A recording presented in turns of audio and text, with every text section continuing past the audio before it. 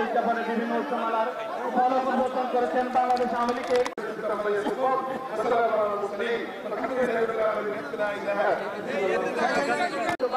মাধ্যমে সকল কর্মসূচির শুভ সূচনা করবেন। রাখো। রাখো। আগামী আগামী রাখো, আগামী।